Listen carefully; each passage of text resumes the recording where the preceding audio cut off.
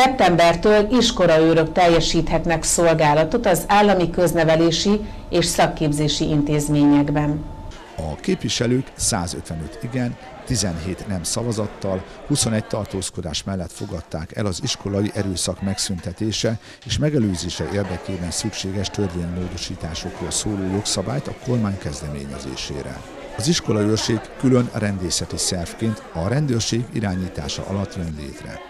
Tagjai 2020. szeptember 1-től teljesítenek szolgálatot nagyságrendileg 500 állami köznevelési és szakképzési intézményben. Ott, ahol ezt az intézményvezetők kérik, ismertette a vitában Maruzsa Zoltán köznevelésért felelős államtitkár. A jogszabály szerint az iskola őr közfeladatot ellátó személynek minősül, és csak az iskola területén intézkedhet tanítási időben.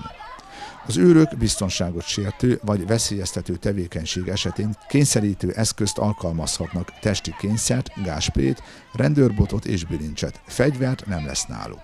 Az őröknek a munkaviszonyuk létesítéséről számított legfeljebb 90 napon belül sikeres iskolaőri vizsgát kell tenniük a törvényben meghatározott intézkedések és kényszerítő eszközök alkalmazásával kapcsolatos elméleti és gyakorlati ismeretekből. A szabálysértésekkel kapcsolatos ismeretekből, valamint alapvető pedagógiai és gyermekpszichológiai ismeretekből. A jogszabály arról is rendelkezik, hogy hivatalos személy, közfeladott ellátó személy, valamint támogatóik elleni erőszak esetében már 12 éves kortól büntethetőek lesznek az elkövetők, ha rendelkeznek a következmények felismeréséhez szükséges belátással.